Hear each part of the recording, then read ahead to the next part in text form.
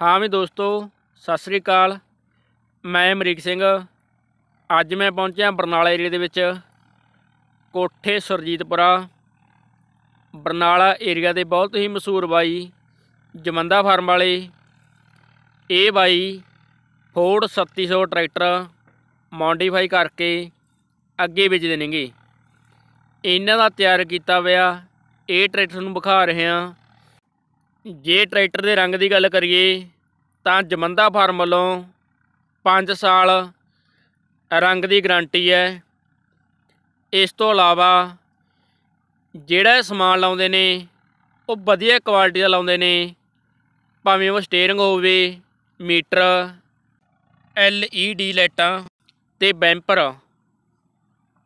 ਇਸ ਤੋਂ ਇਲਾਵਾ ਜਿਹੜਾ ਟਰੈਕਟਰ ਦਾ ਇੰਜਣ ਹੈ ਉਹ ਜਿਹੜਾ ਏਜੰਸੀ ਦਿੰਦੀ ਹੈ ਉਹੀ ਹੈ ਉਹਦੇ ਵਿੱਚ ਐਚਪੀ ਦੇ ਵਿੱਚ ਜਾਂ ਪਾਵਰ ਕਹਿ ਸਕਦੇ ਆ, ਉਹਦੇ ਵਿੱਚ ਕੋਈ ਵੀ ਤਬਦੀਲੀ ਨਹੀਂ ਕੀਤੀ।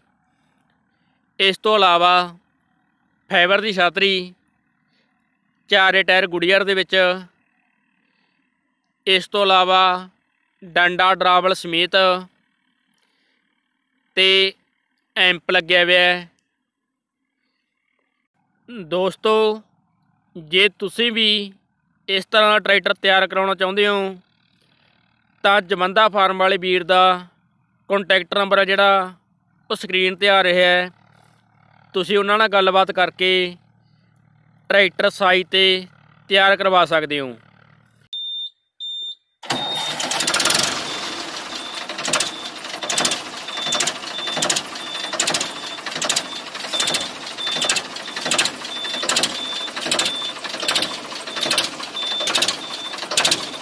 ਰੇਸ ਵੀ ਕਰ ਦੇ ਬਈ ਮੜੀ ਰੇਸ ਕਰਕੇ ਦਿਖਾ ਦੇ।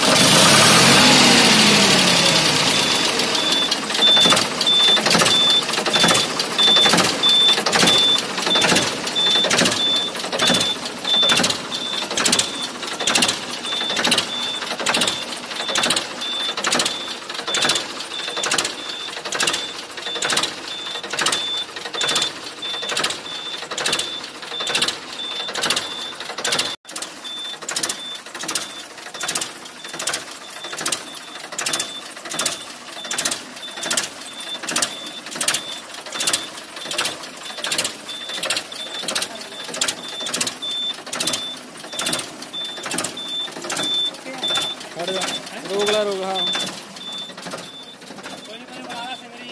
ਰੋਕ ਲਾ।